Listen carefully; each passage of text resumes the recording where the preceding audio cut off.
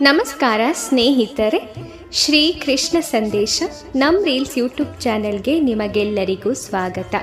ಭಗವಂತನ ಆಜ್ಞೆಯಂತೆ ಎಷ್ಟೋ ಸಂಗತಿಗಳು ನಮ್ಮ ಜೀವನದಲ್ಲಿ ನಡೆಯುತ್ತವೆ. ಭಗವಂತನ ಆಜ್ಞೆ ಏನಿರುತ್ತದೆಯೋ, ಅದರಂತೆಯೇ ನಮ್ಮ ಜೀವನದಲ್ಲಿ ಪ್ರತಿಯೊಂದು ಉದ್ದೇಶಗಳು ನಡೆಯುತ್ತವೆ. ಇದನ್ನು ಭಗವದ್ಗೀತೆಯ ಒಂಬತ್ತನೇ ಅಧ್ಯಾಯದ ಶ್ಲೋಕ ಒಂಬತ್ತರಲ್ಲಿ ಹೀಗೆ ವಿವರಿಸಲಾಗಿದೆ. ಧನಂಜಯನೇ, ಈ ಎಲ್ಲ ಕಾರ್ಯವು ನನ್ನನ್ನು ಬಂಧಿಸುವುದಿಲ್ಲ. ನಾನು ತಟಸ್ಥನಂತೆ ಕುಳಿತಿದ್ದು ಈ ಎಲ್ಲ ಐಹಿಕ ಚಟುವಟಿಕೆಗಳ ಬಗ್ಗೆ ನಿರ್ಲಿಪ್ತನಾಗಿರುತ್ತೇನೆ. ಈ ಸಂದರ್ಭದಲ್ಲಿ ಭಗವಂತನಿಗೆ ಯಾವ ಕೆಲಸವೂ ಇಲ್ಲ ಎಂದು ಭಾವಿಸಬಾರದು. ಅವನ ದಿವ್ಯ ಜಗತ್ತಿನಲ್ಲಿ ಅವನು ಸದಾ ಕಾರ್ಯನಿರತನಾಗಿರುತ್ತಾನೆ. ಬ್ರಹ್ಮ ಸಂಹಿತೆಯಲ್ಲಿ ಹೀಗೆ ಹೇಳಿದೆ. ಆತ್ಮಾರಾಮಸ್ಯ ತಸ್ಯಾಸ್ತಿ ಪ್ರಕೃತ್ಯಾನ ಸಮಾಗಮಃ. ಆತನು ಯಾವಾಗಲೂ ತನ್ನ ಶಾಶ್ವತವಾದ, ಆನಂದಮಯವಾದ ಆಧ್ಯಾತ್ಮಿಕ ಚಟುವಟಿಕೆಗಳಲ್ಲಿ ತೊಡಗಿರುತ್ತಾನೆ. ಆದರೆ ಈ ಐಹಿಕ ಚಟುವಟಿಕೆಗಳಿಗೂ ಅವನಿಗೂ ಯಾವುದೇ ಸಂಬಂಧವಿಲ್ಲ. ಐಹಿಕ ಚಟುವಟಿಕೆಗಳನ್ನು ಅವನು ಬೇರೆ ಬೇರೆ ಶಕ್ತಿಗಳು ನಡೆಸಿಕೊಂಡು ಹೋಗುತ್ತವೆ. ಸೃಷ್ಟಿಯಾದ ಜಗತ್ತಿನ ಐಹಿಕ ಕ್ರಿಯೆಗಳ ವಿಷಯದಲ್ಲಿ ಪ್ರಭುವು ಯಾವಾಗಲೂ ತಟಸ್ಥನು. ಈ ತಾಟಸ್ಥ್ಯವನ್ನು ಇಲ್ಲಿ ಉದಾಸೀನಾವತ್ ಎನ್ನುವ ಪದದಿಂದ ಹೇಳಿದೆ. ಅವನಿಗೆ ಐಹಿಕ ಕ್ರಿಯೆಗಳ ಪ್ರತಿಯೊಂದು ವಿವರದ ಮೇಲೂ ಹತೋಟಿಯಿದೆ. ಆದರೂ ತಟಸ್ಥನಂತೆ ಕುಳಿತಿರುತ್ತಾನೆ. ತನ್ನ ಆಸನದಲ್ಲಿ ಕುಳಿತಿರುವ ಉಚ್ಚ ನ್ಯಾಯಾಲಯದ ನ್ಯಾಯಾಧೀಶನ ನಿದರ್ಶನವನ್ನು ನೋಡಬಹುದು. ಅವನ ಆಜ್ಞೆಯಂತೆ ಎಷ್ಟೋ ಸಂಗತಿಗಳು ನಡೆಯುತ್ತವೆ. ಯಾರನ್ನು ನೇಣು ಹಾಕುತ್ತಿರುತ್ತಾರೆ ಯಾರನ್ನು ಸೆರೆಮನೆಗೆ ಕಳಿಸುತ್ತಿರುತ್ತಾರೆ ಮತ್ತೊಬ್ಬರಿಗೆ ಅಪಾರ ಧನವನ್ನು ಕೊಡುತ್ತಾರೆ. ಆದರೆ ಆತನು ಮಾತ್ರ ತಟಸ್ಥ. ಈ ಲಾಭ ನಷ್ಟಗಳಿಗೂ ಅವನಿಗೂ ಸಂಬಂಧವಿಲ್ಲ. ಹೀಗೆಯೇ ಪ್ರತಿಯೊಂದು ಕ್ರಿಯೆಯಲ್ಲೂ ಭಗವಂತನ ಕೈ ಇದ್ದರೂ ಅವನು ಸದಾ ತಟಸ್ಥ. ವೇದಾಂತ ಸೂತ್ರದಲ್ಲಿ ವೈಷಮ್ಯ ನೈಗೃಣ್ಯೇನ ಆತನು ಐಹಿಕ ಜಗತ್ತಿನ ದ್ವಂದ್ವಗಳಲ್ಲಿ ಸಿಲುಕಿಲ್ಲ ಎಂದು ಹೇಳಲಾಗಿದೆ. ಆತನು ಈ ದ್ವಂದ್ವಗಳಿಗೆ ಅತೀತನು. ಈ ಐಹಿಕ ಜಗತ್ತಿನ ಸೃಷ್ಟಿ ಮತ್ತು ನಾಶಗಳ ವಿಷಯದಲ್ಲಿ ನಿರ್ಲಿಪ್ತನು. ಜೀವಿಗಳು ತಮ್ಮ ಹಿಂದಿನ ಕ್ರಿಯೆಗಳಿಗೆ ಅನುಗುಣವಾಗಿ ವಿವಿಧ ಜೀವ ವರ್ಗಗಳಲ್ಲಿ ಬೇರೆ ಬೇರೆ ರೂಪಗಳನ್ನು ಪಡೆಯುತ್ತಾರೆ. ಭಗವಂತನು ಅವರ ವಿಷಯಗಳಲ್ಲಿ ಕೈ ಹಾಕುವುದಿಲ್ಲ ಎಂದು ಈ ರೀತಿಯಾಗಿ ತಿಳಿಸಿಕೊಡಲಾಗುತ್ತದೆ. ಮತ್ತು ಯಾರು ಶ್ರೀ ಕೃಷ್ಣನನ್ನು ಅರ್ಥ ಮಾಡಿಕೊಳ್ಳುವವರು ಅವರು ನಿಜವಾದ ಶಾಂತಿಯನ್ನು ಜೀವನದಲ್ಲಿ ಪಡೆದುಕೊಳ್ಳುತ್ತಾರೆ ಎನ್ನಲಾಗಿದೆ.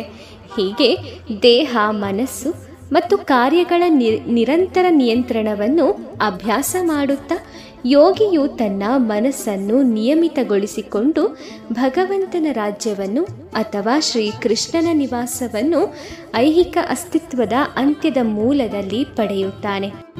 ಯೋಗಾಭ್ಯಾಸದ ಅಂತಿಮ ಗುರಿಯನ್ನು ಈಗ ಸ್ಪಷ್ಟವಾಗಿ ವಿವರಿಸಲಾಗಿದೆ.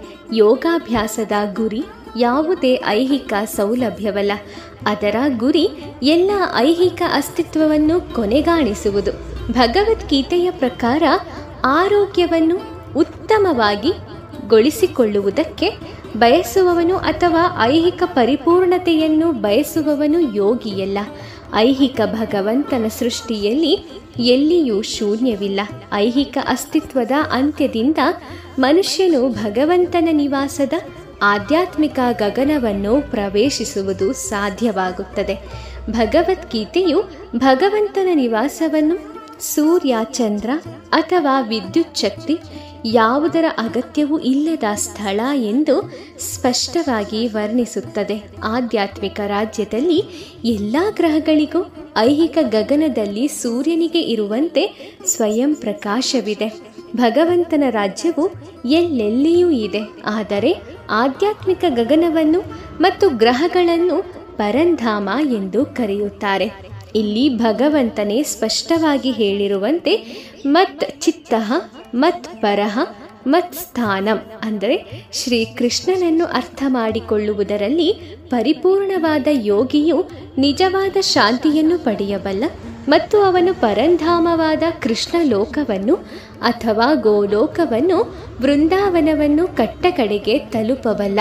ಬ್ರಹ್ಮ ಸಂಹಿತೆಯಲ್ಲಿ ಗೋಲೋಕ ಏವ ನಿವಸತಿ ಅಖಿಲಾತ್ಮ ಭೂತಃ ಎಂದು ಸ್ಪಷ್ಟವಾಗಿ ಹೇಳಿದೆ. ಭಗವಂತನು ಗೋಲೋಕವೆಂಬ ಹೆಸರಿನ ತನ್ನ ನಿವಾಸದಲ್ಲಿ ಸದಾ ವಾಸಿಸುತ್ತಾನೆ. ಆದರೂ ತನ್ನ ಶ್ರೇಷ್ಠ ಆಧ್ಯಾತ್ಮಿಕ ಚೈತನ್ಯಗಳಿಂದ ಅವನು ಸರ್ವವ್ಯಾಪಿ ಬ್ರಹ್ಮನ್ ಅಲ್ಲದೆ ಅಂತರ್ಯಾಮಿ ಪರಮಾತ್ಮನೂ ಆಗಿದ್ದಾನೆ.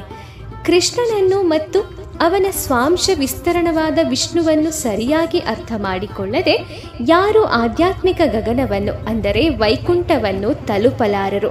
ಭಗವಂತನ ನಿರಾ, ನಿರಂತರವಾದಂತಹ ಆವಾಸನವನ್ನು ಗೋಲೋಕ ವೃಂದಾವನವನ್ನು ಪ್ರವೇಶಿಸಲಾರರು. ಆದುದರಿಂದ ಕೃಷ್ಣ ಪ್ರಜ್ಞೆಯಲ್ಲಿ ಕೆಲಸ ಮಾಡುವವನ ಮನಸ್ಸು ಕೃಷ್ಣನ ಕಾರ್ಯಗಳಲ್ಲಿ ಸದಾ ಮಗ್ನರಾಗಿರುವುದರಿಂದ ಸವೈ ಮನಃ ಕೃಷ್ಣ ಪಾದಾರವಿಂದ ಯೋನಃ. ಅವನು ಪರಿಪೂರ್ಣ ಯೋಗಿಯೂ ಆಗುವನು. ವೇದಗಳಲ್ಲಿ ಸಹ ಶ್ವೇತಾಶ್ವತರ ಉಪನಿಷತ್ತು, ತಂ ಏವಾ ವಿದಿತ್ವಾತಿ, ಮೃತ್ಯಂ ಏತಿ ದೇವೋತ್ತಮ ಪರಮಪುರುಷನಾದ ಕೃಷ್ಣನನ್ನು ಅರ್ಥ ಮಾಡಿಕೊಳ್ಳುವುದರಿಂದ ಮಾತ್ರವೇ ಹುಟ್ಟು ಸಾವುಗಳ ಮಾರ್ಗದಿಂದ ಬಿಡುಗಡೆಯಾಗಬಹುದು ಎಂದು ಹೇಳಿದೆ. ಬೇರೆ ಮಾತುಗಳಲ್ಲಿ ನಾವು ಹೇಳುವುದಾದರೆ, ಯೋಗ ಪದ್ಧತಿಯ ಪರಿಪೂರ್ಣತೆ ಎಂದರೆ ಐಹಿಕ ಅಸ್ತಿತ್ವದಿಂದ ಬಿಡುಗಡೆಯನ್ನ ಹೊಂದುವುದು. ಅದು ಮುಗ್ಧ ಜನರಿಗೆ ಮೋಸ ಮಾಡುವ ಯಕ್ಷಿಣಿಯಲ್ಲ ಅಂಗ ಸಾಧನೆಯ ಕಸರತ್ತುಗಳೂ ಅಲ್ಲ. ಈ ಜಗತ್ತಿನಲ್ಲಿ ಕೆಲವೊಮ್ಮೆ ನಾವು ಬಯಸಿದಂತೆ ಏನೂ ಮಾಡಲು ಸಾಧ್ಯವಾಗೋದಿಲ್ಲ. ಆದರೂ ಸೃಷ್ಟಿಯಾದದ್ದೆಲ್ಲ ನನ್ನನ್ನೇ ಆಧರಿಸಿರುತ್ತದೆ. ನನ್ನ ಯೋಗ ಸಮೃದ್ಧಿಯನ್ನ ನೋಡಿ. ಎಲ್ಲ ಜೀವಿಗಳ ಪಾಲಕನೇ ನಾನಾದರೂ ಮತ್ತು ನಾನು ಎಲ್ಲ ಕಡೆ ಇರುವೆನಾದರೂ ನಾನು ಈ ವಿಶ್ವದ ಅಭಿವ್ಯಕ್ತಿಯ ಭಾಗವಲ್ಲ. ಏಕೆಂದರೆ ನಾನೇ ಈ ಸೃಷ್ಟಿಯ ಮೂಲ. ಎಲ್ಲದಕ್ಕೂ ನಾನೇ ಆಧಾರ. ಮತ್ ಸ್ಥಾನಿ ಸರ್ವಭೂತಾನಿ ಎಂದು ಪ್ರಭು ಕೃಷ್ಣನು ಹೇಳುತ್ತಾನೆ. ಇದನ್ನು ತಪ್ಪಾಗಿ ಅರ್ಥ ಮಾಡಿಕೊಳ್ಳಬಾರದು. ಭೌತಿಕ ಅಭಿವ್ಯಕ್ತಿಯ ನಿರ್ವಹಣೆ ಮತ್ತು ಪಾಲನೆಯ ವಿಷಯದಲ್ಲಿ ಪ್ರಭುವಿಗೆ ನೇರ ಕಾಳಜಿ ಇಲ್ಲ. ಈ ಬೃಹತ್ತಾದ ಭೂಗ್ರಹವನ್ನು ಹೊತ್ತುಕೊಂಡ ಅವನು ಬಹು ಆಯಾಸಗೊಂಡಂತೆ ಕಾಣುತ್ತಾನೆ. ಕೃಷ್ಣನು ಸೃಷ್ಟಿಯಾದ ವಿಶ್ವವನ್ನು ಎತ್ತಿ ಹಿಡಿಯುತ್ತಾನೆಂದರೆ ಇಂತಹ ಚಿತ್ರಕ್ಕೆ ಮನಸ್ಸಿನಲ್ಲಿ ಅವಕಾಶ ಕೊಡಬಾರದು. ಎಲ್ಲವೂ ತನ್ನನ್ನು ಆಧರಿಸಿದ್ದರೂ ತಾನು ದೂರವಾಗಿದ್ದೇನೆ ಎಂದು ಅವನು ಹೇಳುತ್ತಾನೆ. ಲೋಕವ್ಯೂಹಗಳು ಆಕಾಶದಲ್ಲಿ ತೇಲುತ್ತವೆ. ಈ ಆಕಾಶವು ಪರಮಪ್ರಭುವಿನ ಶಕ್ತಿಯಾಗಿದೆ. ಆದರೆ ಆತನು ಆಕಾಶದಿಂದಲೂ ಬೇರೆ, ಆತನ ಸನ್ನಿವೇಶವೇ ಬೇರೆ. ಆದುದರಿಂದ ಪ್ರಭುವು ಅವುಗಳಿಗೆ ತನ್ನ ಕಲ್ಪನಾತೀತ ಶಕ್ತಿಯ ಆಧಾರವಾಗಿದ್ದರೂ ದೇವೋತ್ತಮ ಪರಮ ಪುರುಷನಾಗಿ ಅವನು ಅವರಿಂದ ದೂರವಾಗಿದ್ದೇನೆ ಎನ್ನುತ್ತಾನೆ. ಇದು ಪ್ರಭುವಿನ ಕಲ್ಪನಾತೀತ ಐಶ್ವರ್ಯ ಲೋಕವಾಗಿದೆ. ಹೀಗೆ ಕೃಷ್ಣನು ಸರ್ವಾಂತರ್ಯಾಮಿ. ಎಲ್ಲಿಯೂ ಅವನನ್ನು ಒಂದು ನಿರ್ದಿಷ್ಟ ರೂಪಕ್ಕೆ ಅಥವಾ ನಿರ್ದಿಷ್ಟ ಜಾಗಕ್ಕೆ ಸೀಮಿತಗೊಳಿಸಲಾಗದು. ಸ್ನೇಹಿತರೆ, ಈ ಸಂದೇಶ ನಿಮಗೆ ಇಷ್ಟ ಆಗಿದೆ ಅಂತ ನಾನು ಅಂದ್ಕೊಳ್ತೀನಿ ವಿಡಿಯೋ ಇಷ್ಟ ಆಗಿದ್ದರೆ ಲೈಕ್ ಮಾಡಿ, ಶೇರ್ ಮಾಡಿ. ಹಾಗೆ ನಿಮ್ಮ ಅನಿಸಿಕೆಗಳನ್ನು ಕಮೆಂಟ್ ಮಾಡಿ. ಇದೇ ರೀತಿಯ ಕೃಷ್ಣ ಪರಮಾತ್ಮನ ಸ್ಫೂರ್ತಿದಾಯಕ ಸಂದೇಶಗಳನ್ನು ತಿಳ್ಕೊಳ್ಳೋಕ್ಕೋಸ್ಕರ ನಮ್ಮ ರೀಲ್ಸ್ ಯೂಟ್ಯೂಬ್ ಚಾನಲ್ಗೆ ಸಬ್ಸ್ಕ್ರೈಬ್ ಮಾಡ್ಕೊಳ್ಳಿ. ಮುಂದಿನ ವಿಡಿಯೋದಲ್ಲಿ ಭೇಟಿ ಮಾಡ್ತೀನಿ. ಓಂ ಶ್ರೀ ಕೃಷ್ಣಾಯ ನಮಃ. ಆ ಕೃಷ್ಣ ಪರಮಾತ್ಮ ನಿಮ್ಮೆಲ್ಲರಿಗೂ ಒಳ್ಳೆಯದನ್ನು ಮಾಡಲಿ. ಧನ್ಯವಾದಗಳು.